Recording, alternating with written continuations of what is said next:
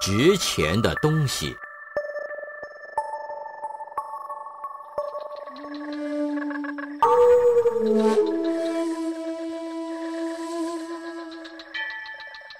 有一个小偷到梁宽禅师的茅庐偷东西，结果发现没有一样值钱的东西。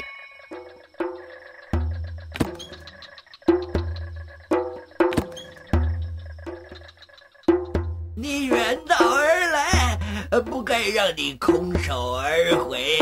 呃，这件衣服你带走吧。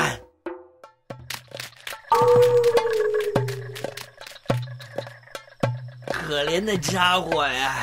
可惜我不能把这美丽的月亮也送给他。一般人只追求名利，其实天地之间，你拥有的何其多！